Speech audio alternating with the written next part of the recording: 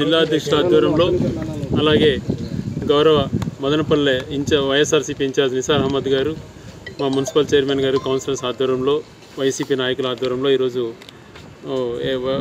SP గారికి memorandum ఇవ్వడం జరిగింది. ఎస్పీ గారు అందుబాటులో లేనందువల్ల డిఎస్పీ గారు మెమోరాండం స్వీకరించడం జరిగింది. ఇరవై ఆరు జిల్లాలలో కూడా వైఎస్ఆర్ కాంగ్రెస్ పార్టీ పిలుపు మేరకు ఈ కార్యక్రమాన్ని చేపట్టాం. ముఖ్యంగా ఒకటే అడగదలుచుకున్నాను. ఈరోజు గౌరవ చంద్రబాబు నాయుడు గారు చెప్పిన విధంగా వైసీపీ వాళ్ళు అలాంటి వాళ్ళు ఎలాంటి పోస్టింగ్లు పెడుతున్నారు మహిళలను కించపరుస్తున్నారని మాట్లాడారు.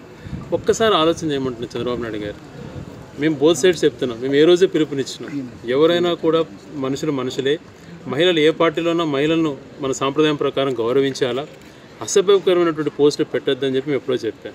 మరి ఇదే చంద్రబాబు నాయుడు గారు ఇటువైపు ఒకవైపు చూపిస్తున్నట్టు ఇక్కడ ఐదు పర్సెంటే ఉంది. మరి అటుపక్క చూస్తే చాలా ఘోరాతి ఘోరంగా. వెయ్యి వెయ్యి రెట్లు అధికంగా మహిళలను కించపరిచే విధంగా పెడుతున్నటువంటి పోస్టులు చంద్రబాబు జగన్మోహన్ రెడ్డి గారిని కించపరిచేటువంటి పోస్టింగ్లు ఎన్ని పెడుతున్నారు? మరి ఇవన్నీ కూడా మేము కోర్ట్ చేసి గౌరవ అమర్నాథ్ రెడ్డి గారి ఆధ్వర్యంలో ఈరోజు పోలీసులకు రిప్రజెంటేషన్ ఇచ్చినాం. మరి వీళ్ళందరిపైన కూడా కేసులు పెడతారా? మరి వైఎస్ఆర్ సతీమణి జగన్ భారతి గారి గురించి అనేకమైనటువంటి అసభ్యకరమైన పోస్టులు విజయమ్మ గారి గురించి అనేకమైన అసభ్యకరమైన పోస్టులు గతంలో షర్మిలా గారు జగన్మోహన్ గారితో తోడుగా ఉన్నప్పుడు ఆమె పైన అసభ్యకరమైన పోస్టులు మంత్రులుగా పనిచేసినటువంటి విడుదల రజనీ గారు వాళ్ళపైన అయితేనేమి వైఎస్ఆర్సీపీ శాసనసభ్యులుగా ఉన్నటువంటి వాళ్ళు ఒక సైడ్లో ఒక సైడ్ కూర్చోనంటే వాళ్ళపైన సభ్య సమాజం తలదించుకునే విధంగా పెట్టినటువంటి పోస్టింగ్లు అయితేనేమి. ఇప్పుడు ప్ర అధికార ప్రతినిధిగా ఉన్నటువంటి శ్యామలా గారు ఎప్పుడైనా మీడియాలో మాట్లాడితే ఆమె గురించి కించపరిచేటువంటి మాటలు మాట్లాడడం కానీ పోస్టింగులు ఎంత వల్గర్గా పెడుతున్నారు. మరి అదొక న్యాయం ఇదొక న్యాయమా? ఇది ఆలోచన చేయమంటున్నా ప్రభుత్వాన్ని. నిజంగా సోషల్ మీడియాలో అసభ్యకరమైనటువంటి పదాలు దూరంగా ఉండాలని చెప్పి పవన్ కళ్యాణ్ గారు కోరుకున్నారు చంద్రబాబు గారు మాట్లాడారని అంటున్నారు. మరి వారిద్దరిని ఇదే ప్రశ్నిస్తున్నారు. మీ ఇంట్లో వాళ్ళు అన్నందుకు మీరు ఇంత బాధపడ్డారు? మీ ఇంట్లో మహిళల్ని కించపరిచినందుకు మేము కూడా బాధపడుతున్నాం. కానీ అదేవిధంగా వైఎస్ఆర్ కాంగ్రెస్ పార్టీలో ఉన్నటువంటి మహిళల్ని కించపరిచినటువంటి విషయాలలో మీరు ఎందుకు మాట్లాడలేకపోతున్నారు? ఇది కరెక్టా? ఇది ఆలోచన చేయమంటున్నా గౌరవ పవన్ కళ్యాణ్ గారు. అంతగా మీరు కన్నీళ్ళు పెట్టుకొని బా బాధపడ్డారు మా పార్టీ వాళ్ళు అంటున్నారే. మరి మేము కన్నీళ్ళు పెట్టుకుని ఉండాలి ఇటుపక్క జరిగినటువంటి సంఘటనల పైన? ఇది ఎందుకు కనపడదు మీకు? ఒక రాజ్యాంగంలో పదవిలో ఉన్నటువంటి వాళ్ళు న్యాయంగా వ్యవహరించాలి.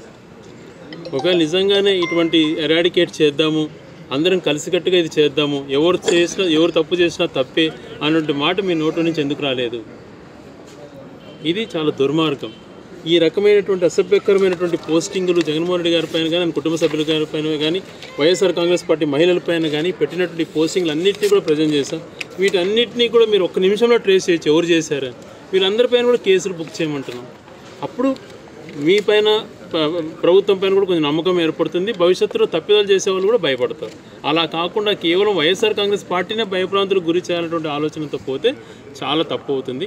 ఖచ్చితంగా పాలసీస్ పైన గౌరవ ఎమ్మెల్యే గారు చెప్పిన విధంగా పాలసీస్ పైన ఖచ్చితంగా ఫైట్ చేస్తాం.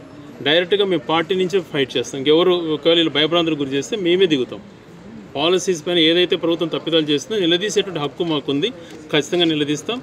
ఏవైతే చేయాలనో అవి చేయడానికి ప్రయత్నం చేయాలి. ఈరోజు పోలీసులకు అనేకమైనటువంటి అంశాలు పెండింగ్లో ఉన్నాయి. గతంలో ఎన్నెన్నో చెప్పారు.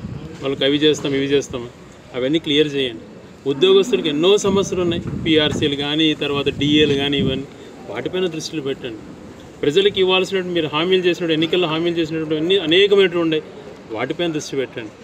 అవి చేయడానికి ప్రయత్నం చేయండి. ఇంకా పోలీసు అధికారులు నై- నైతిక స్థైర్యం దెబ్బతినే విధంగా చిన్న చిన్న కేసులలో అరెస్ట్ చేయలేదని చెప్పి వాళ్ళని బదిలీలు చేయడం వాళ్ళని సస్పెండ్లకు ఆదేశించడం ఎంతవరకు సమంజసం?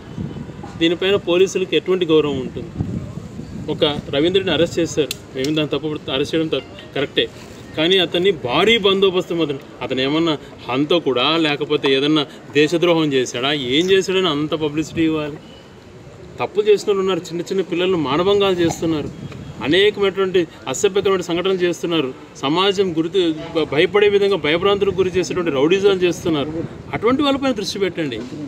అది వదిలేసేసి కేవలం సోషల్ మీడియాలో పోస్ట్ పెడుతున్నారు వైఎస్ఆర్ కాంగ్రెస్ పార్టీని భయభ్రాంతులు గురి చేయాలంటే ఆలోచన చేయడం దుర్మార్గం అని చెప్పి అదే విషయాన్ని పోలీసు అధికారులు కూడా తెలియజేసి న్యాయంగా వివరించడం చెప్పడం జరిగింది.